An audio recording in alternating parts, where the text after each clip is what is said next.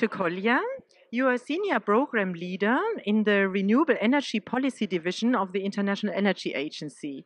And I think in this job you're a bit new, and it's the first solar heating and cooling conference that you're actually taking place. So I would like to have your impressions.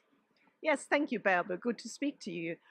Yes, it's my first conference, and I'm actually really impressed about just the breadth of activities that are going on amazing new innovations that are being talked about. So I think from that point of view, there is a, a very positive future for solar thermal. Good. Well, do you have, I mean, you're a more outstanding person, so it's always good to look into the mirror. Do you have any advices um, like solar heating and cooling as a traditional technology, but um, also one with a certain potential but difficulties? Yeah, I think the industry can probably learn some lessons from the renewable electricity industry, especially solar PV. They've been extremely good at lobbying policymakers. So we have renewable electricity policies in, I don't know, 150, 160 countries, whereas renewable heat is really behind.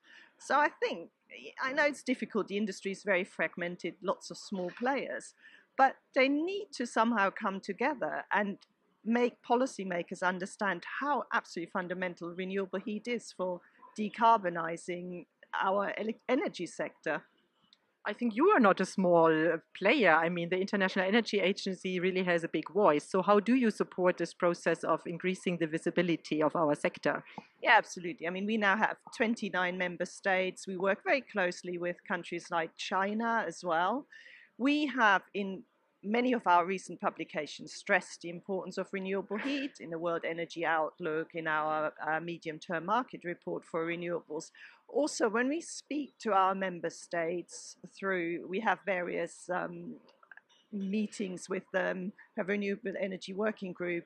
We have had discussions about heat, and, and generally they agree so we, we try our bit, but I think there needs to be pressure from the industry as well because that's how things get done. The industry has to demonstrate that it can have cost effective solutions. In your speech, which you were just holding, your keynote, I think you were stressing the fact that we need your um, energy efficiency policies linked to renewable energy policies. What is the behind the idea behind that? Well, the idea is that we don't want to waste energy. Now, it's actually quite difficult to find enough renewable heat for all the heat demand we have in the world. At the same time, we know we can reduce that heat demand through, you know, insulating buildings or having more efficient industrial processes. So it's quite clear to everyone that these two need to go hand in hand. You reduce first, then you meet your remaining demand through renewable energy. It's the cheapest way, it's the most carbon efficient way. So that's where we need to go. So you have a good example where this worked? Well, there is a bit of a problem at the moment that uh, it, it's difficult in many countries. It's not always being achieved. But take the European Union, for example, in its Energy Performance Directive for buildings, they now have plans for nearly zero energy buildings, which will come in within the next five years.